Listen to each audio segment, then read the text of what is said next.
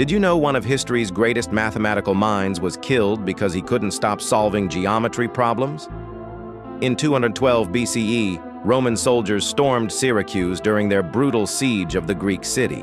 Archimedes, the brilliant mathematician who calculated pi and invented war machines, was completely absorbed in his work.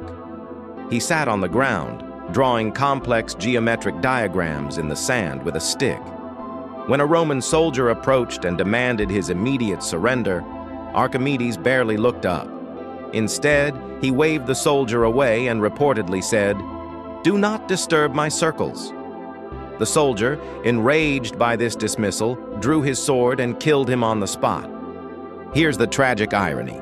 This was the same man who calculated the circumference of the Earth with stunning accuracy. He could measure the entire planet, but couldn't measure the deadly danger standing right in front of him. His devotion to mathematics cost him everything. Sometimes the greatest minds are too focused on the infinite to notice the immediate.